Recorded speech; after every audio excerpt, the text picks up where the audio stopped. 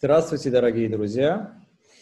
А, я хочу представиться. Арташес Зильфян, профессор, заведующий кафедрой глазные болезни Национального института здравоохранения, главный офтальмолог города Еревана и советник министра здравоохранения Республики Армения. А, я представлю вам сегодня а, презентацию, которую я подготовил о применении лазеров при глаукоме, также эффективность лазеров как на фокичных, так и на псевдофокичных глазах. Итак, э, давайте поговорим о лазерах, применяемых сегодня при глаукоме.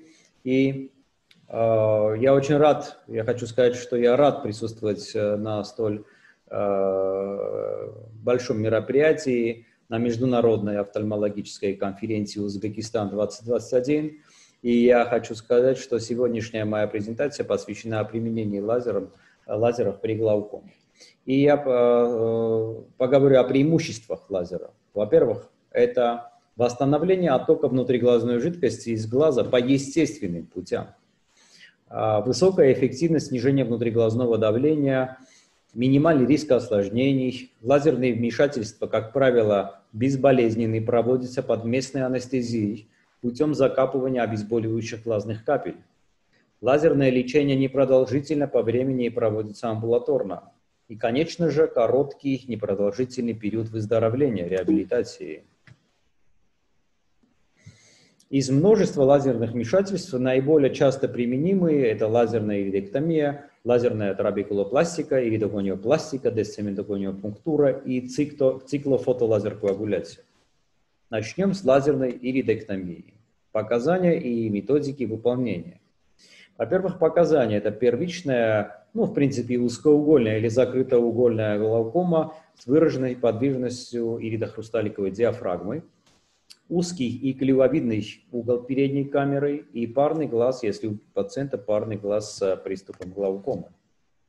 Какие возможны осложнения при выполнении лазерной иридектомии? Это не сквозное формирование отверстия в строме радужки, это кровотечение и образование гифемы, повреждение передней капсулы хрусталика с последующим заращением отверстия, очень неприятное осложнение эффект второго зрачка, это эффект, ну, бывают эффекты гало и засветы, и офтальмогипертензия.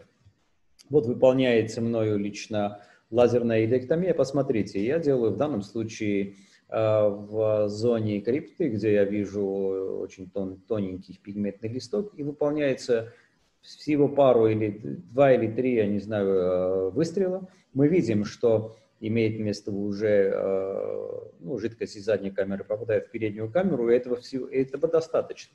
В данном случае не надо продолжать, поскольку мы можем иметь осложнения.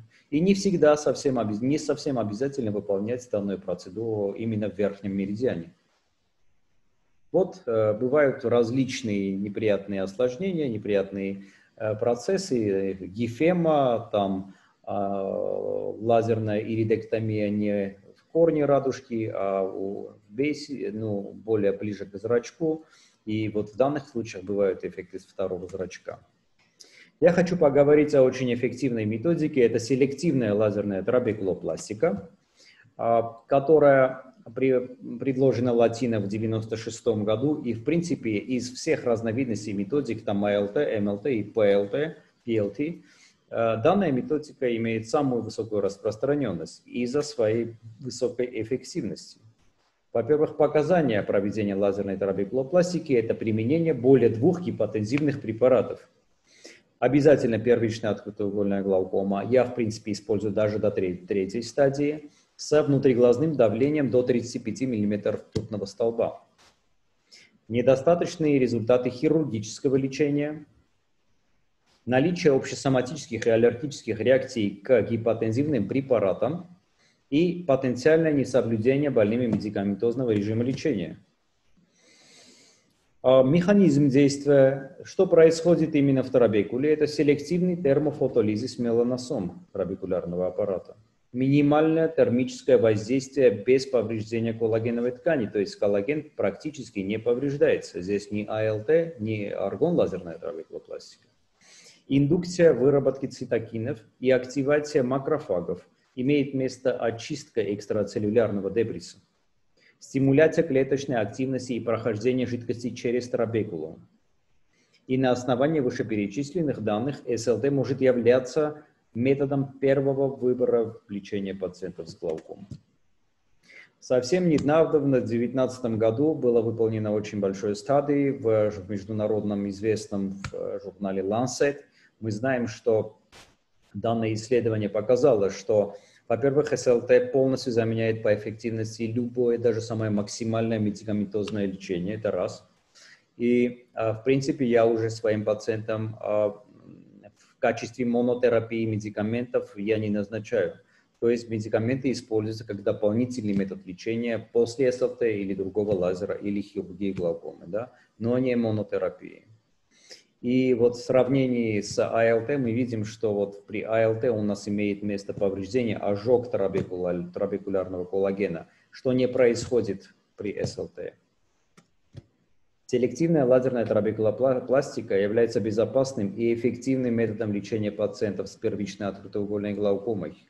Данный метод имеет высокую эффективность как на факичных, так и на псевдофакичных глазах, имеет высокую эффективность на начальных стадиях и развитой стадии глаукомы. И СЛТ не имеет серьезных противопоказаний и может выполняться амбулаторно, рутинно, э, даже в поликлинических условиях. Я вам хочу а, показать, как именно выполняется СЛТ. Ставится гониолинза. Э, линза латина, и я выполняю SLT. Мы видим champagne bubbles, те самые пузырьки, которые выходят при выполнении SLT. И это говорит о высокой эффективности. То есть мы уже понимаем, что если есть пузырьки, это говорит о том, что эффективность есть сравнительный анализ. SLT э, будет высокая. И я выполняю на 360 градусов. Вся процедура занимает около 5 минут. В принципе, у нас замечательные результаты по СЛТ и выполнено более тысячи пациентов. Следующий метод – это всем нам известная трансклеральная цитофотолазеркоагуляция. В последнее время наибольшую популярность в лечении рефрактерной глаукомы приобретает трансклеральная диод-лазерная цитофотолазеркоагуляция – выполняется с целью компенсации внутриглазного давления в далеко зашедшей терминальной стадии глаукомы, где традиционные фистулизирующие операции малоэффективны и небезопасны. Вот как выглядит проба э, трансклеральной, э, зонд трансклерального э, лазера. Обратите внимание на глаз пациента сразу на вторые сутки после выполнения Э, данного метода, мы видим, что имеют место коагулянты, которые, в принципе, э, выполняют деструкцию, трансклеральную деструкцию, фотолазер-деструкцию цилярного тела и снижают продукцию внутриглазной жидкости. Из недостатков, конечно же, вот я, у меня есть также видео э, по щелевой лампой, пациент сразу после, на вторые сутки после выполнения. Из недостатков, основной недостаток данного метода, что контроль контроль э, деструкции ткани, в принципе, очень сложный. И э, у меня, слава богу, не было такого случая, однако в литературе описаны многочисленные случаи э, с э, гиперэффектом, что может приводить к, дес, к гипотонии глазного яблока. Я хотел бы поговорить о еще одной разновидности. Это микропульсная трансплеральная цитофотолазеркоагуляция. Это замечательный метод. Я выполняю при всех рефрактерных или трудно лечащихся или глаукомах, которые трудно поддаются лечению, медикаментозному или селективной лазерной трабекулопластике, так называемых рефрактерных, однако и при, при э, глаукомах с высоким давлением, просто с высоким давлением. И надо поговорить о том, что в последние годы применение трансклеральной цитофотолазеркоагуляции выходит э, далеко за рамки лечения только лишь рефрактерной глаукомы.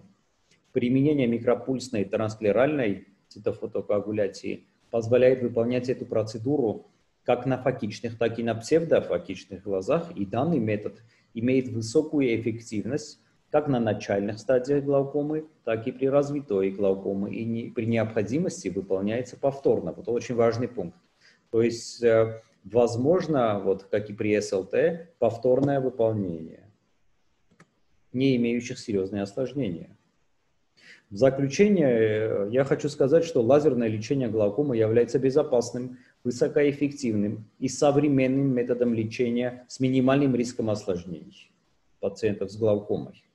Лазерные вмешательства относительно без, безболезненные, проводятся под местной капельной анестезией путем закапывания обезболивающих глазных капель. Но при микропульсной э, лазерной цитофотокоагуляции я, в принципе, использую не ретробульварную анестезию, а подконъюнктивальную путем введения инсулиновой э, иглой э, небольшого количества лидокаина под конъюнктиву бульбарную. Лазерное лечение глаукома, в принципе, непродолжительно по времени, проводится амбулаторно с коротким периодом реабилитации.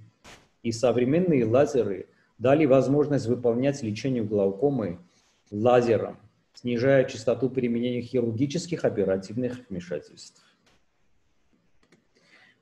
Благодарю, за, благодарю вас за внимание и я желаю всем нам э, удачной конференции и хорошего дня. Спасибо.